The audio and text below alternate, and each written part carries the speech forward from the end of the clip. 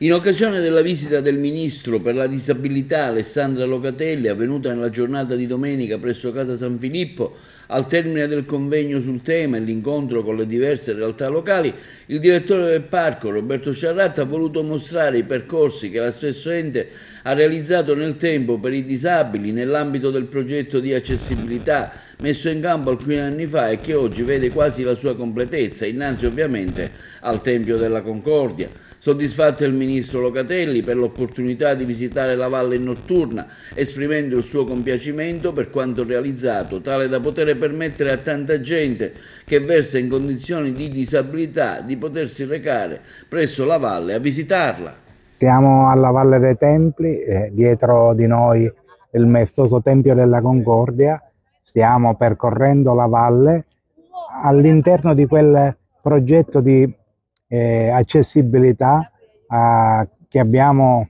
messo in campo alcuni anni fa che oggi eh, vede la sua quasi completezza. Siamo con eh, il ministro Locatelli per la disabilità e stiamo percorrendo la valle, stiamo discutendo di quello che sono i problemi che riguardano il mondo dell'accessibilità a 360 gradi, che non riguardano solo l'accessibilità motoria o la uditiva, ma che riguardano l'accessibilità cognitiva, sensoriale. E molte cose ne sono state fatte, molte ne abbiamo da fare, questo sempre per garantire la valle e i luoghi della cultura accessibili a tutti, non con una particolare dedizione eh, rispetto al visitatore, ma rispetto all'uomo che è una persona che ha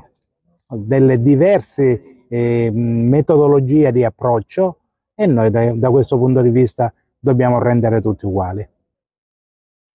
Grazie direttore per questa opportunità straordinaria. Io penso che poter visitare la Valle dei Templi, peraltro in notturna, sia meraviglioso, una grande opportunità per tutti peraltro eh, e questo è straordinario, un grande eh, orgoglio penso per eh, Agrigento, per la Sicilia ma davvero per tutto il paese. Ecco perché sono qui per dire che davvero in questo luogo possono arrivare tutti e e, e, capisco anche che ci sono tante sfide anche per il futuro aperte, quindi è iniziato un percorso che davvero porterà la Valle dei Templi e la provincia di Agrigento eh, a essere conosciuta da tante famiglie anche che con persone care che magari hanno eh, una difficoltà motoria, una disabilità anche eh, sensoriale o intellettiva, eh, vorranno visitare la Valle dei Templi. Un'opportunità straordinaria, devo dire, però anche facilitata non solo per le persone con disabilità, eh, ma anche per magari le mamme con le carrozzine